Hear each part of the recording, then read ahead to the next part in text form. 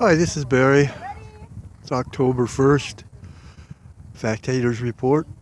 It might be one of the most important ones that we do because it concerns nothing but facts. Basically, the internet.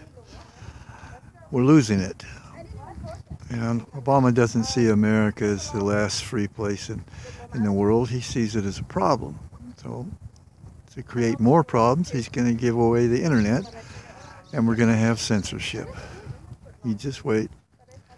Won't be the same internet that uh, the rest of us have been using. You think you're going to get government news. Huh. Wait till you see what happens when ICANN's taken over.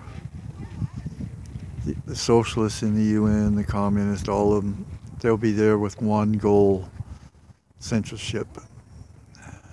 And it'll be a mess. I guess uh, to get the truth, you're going to have to go underground. It's you can't stop it. Facts are facts, but they try their best. Wish I had something better to report, but that seems to be the most important thing happening right now. There's four states.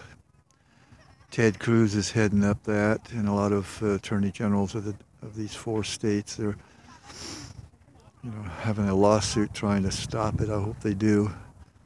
I know Obama's going to cause a lot of trouble before we see the last of him, and this is just the beginning of it.